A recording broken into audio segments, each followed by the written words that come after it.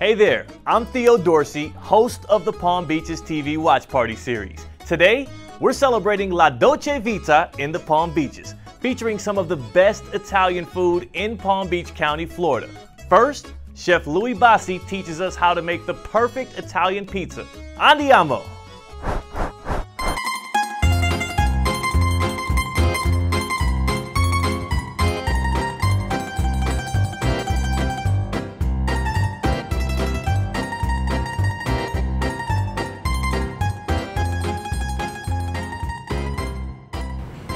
Art adventurers, we are at Elisabetta's Ristorante in downtown West Palm Beach.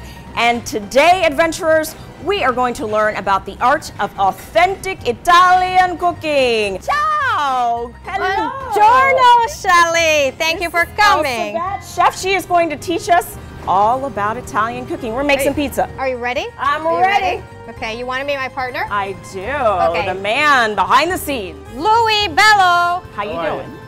Good to meet you. I'm looking forward to learning about a little pasta, a little pizza. We'll show you all our best moves. Shelly, want to eat some pizza? I am ready to eat the pizza. Bring it on. Oh, first you have to make it. Okay, well, Okay, so we're going to make a pizza. I'm gonna learn Louis how to make a pizza. I'll show you how to make the real pizza margherita. We got a little flour here. Ordered from Italy. and Louis, you're telling me you do not throw the. No, we don't throw the dough. Very gentle, very gentle. This dough has integrity. nice and lightly, it opens up quickly, and we want to get rid of the excess flour. Beautiful tomatoes, very sweet naturally. Uh, we're going to use fresh mozzarella. Very simple. Italian food is very simple. But good. Simplicity. You like basil, Shelly? I love basil. Okay, you're going to put the basil on. Throw it right on top. right on there.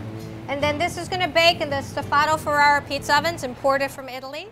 Let's finish it off with our extra virgin olive oil. And this is going to bake at 900 degrees. Now you want the pizza to be nice and round because it's going to go in the oven and cook that way.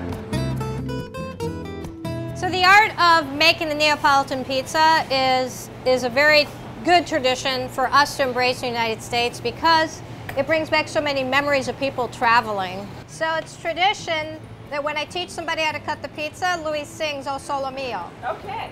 So ready, Bolo? You ready? okay, so you're gonna cut it into six pieces. All right.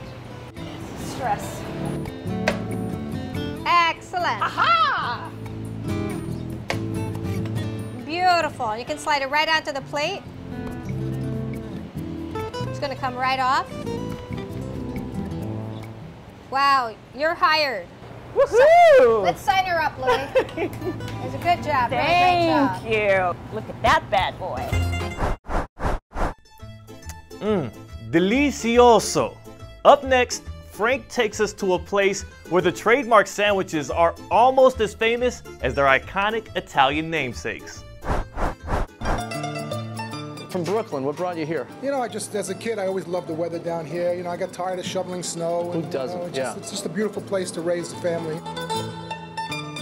What's a signature? What's my dish? What am I getting? The place is you know, always known for the big, huge sandwiches, the Michelangelo, Bronx Bombers. Wide, tall? Wide, big, tall. Okay. Most people can't finish them. You know, we do an all-you-can-eat buffet. Now, what makes it a Michelangelo? Obviously, is it named after Well, the? all the sandwiches are named after famous Italian, uh, you know, inventors, Sure. singers, composers. So here's what I'm feeling right now. Do you, do you remember watching the Flintstones? remember when they dropped the big ribs on his car and it would tip over? This is what I feel like. Or the Brontosaurus burger, The Brontosaurus yeah. burger. Yeah, you're with me. Give it. Yeah, Nice. Flintstone. Reference. Who eats this? How can you do this? Have you ever eaten one? Um, yeah, plenty of times. Yeah, that's why I look like this today. now, wh- wh- what's the secret? How do I do this without completely m- making a mess of myself in Just the grab it from both ends and start eating. Are you ready?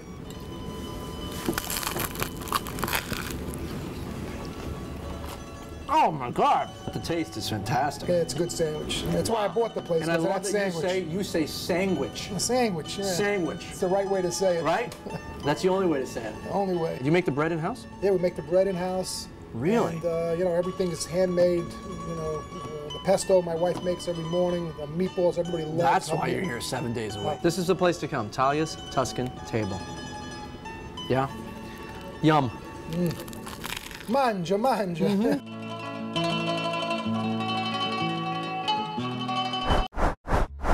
That's an amazing sandwich. Uh, I'm sorry, I mean sandwich. Now, let's switch it up and meet an Italian American man who turned his passion for classic cars into a stunning private car museum with a vintage Coney Island theme.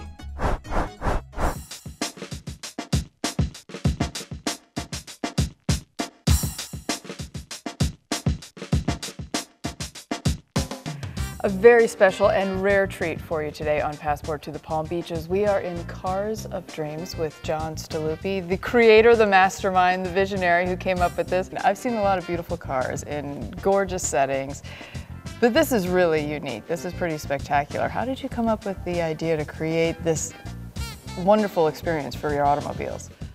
Well, you know, this was my era back then, 50s, 60s, and 70s. And this is my actual third collection, and I'm going to do one more collection. Every one of these cars in here, run, drive.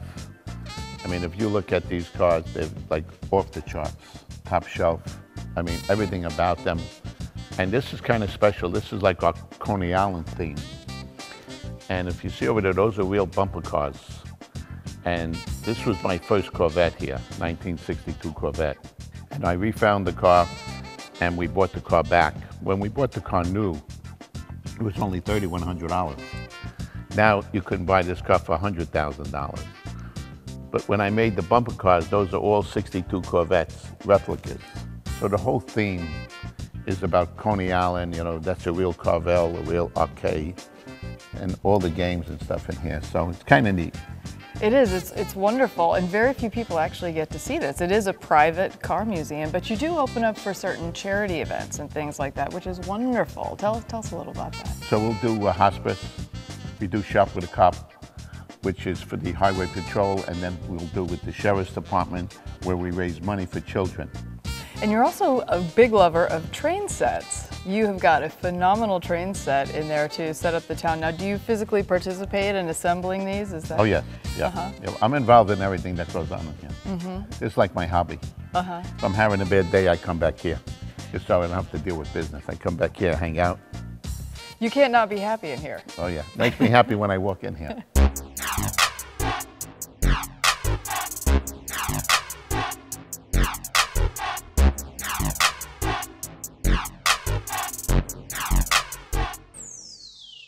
Big variety of cars here, John. Yes. What are some of your favorites? Well, naturally, the, my first Corvette's my favorite. Believe it or not, that 57 DeSoto.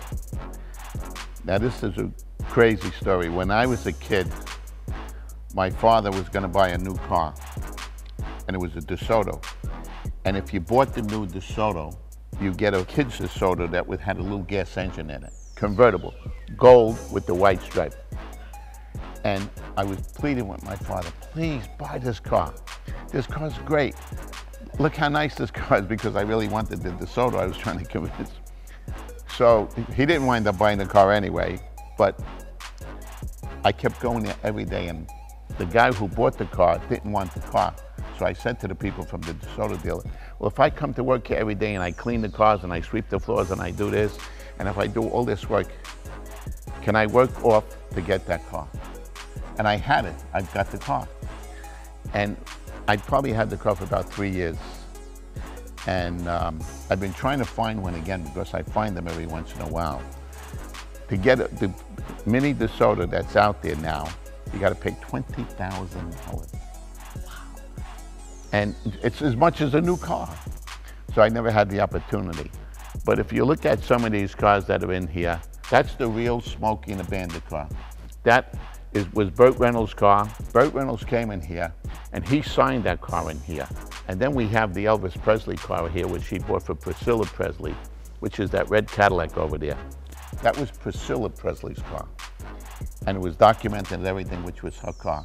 So we have a lot of special cars with a lot of things. So those cars I'm not selling. Mm-hmm. They will stay with me and I'll hand them down to my children and my grandchildren and, you know, everything along the line. Truly magnificent vehicles. Now, it is a private car museum, but if you're interested in the current collection, you can check it out at carsofdreams.com. So, what are you waiting for? Come celebrate La Dolce Vita in the Palm Beaches. Discover just how sweet it is.